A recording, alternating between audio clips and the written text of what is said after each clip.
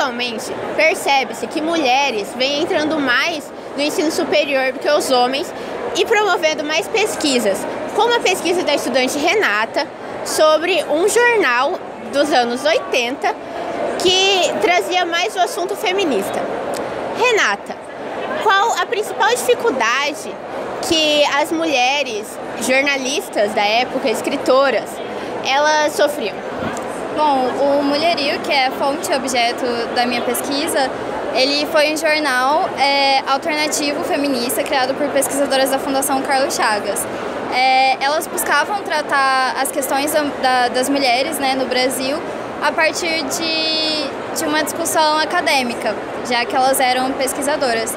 Uma das grandes dificuldades que elas encontravam era o fato de não ter o tema reconhecido ainda dentro da universidade, porque geralmente as pessoas não reconhecem que, que o assunto mulheres e, e gênero seja material para pesquisar e para fazer ciência.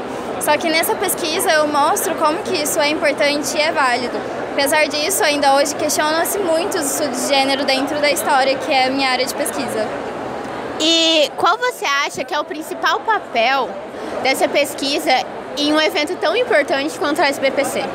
Bom, é muito importante falar sobre gênero e pesquisar cientificamente, se debruçar sobre o tema, devido a muitos questionamentos né, que, que o estudo de gênero vem enfrentando hoje em dia.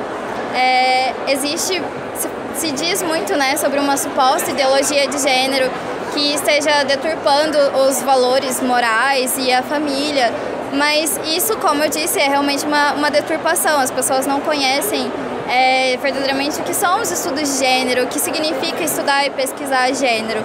Então é importante trazer esse tema para para esse BPC, para discutir mesmo, para estabelecer um local para se falar sobre isso. Ok, muito obrigada. De Micaele Reis para Repórter Júnior.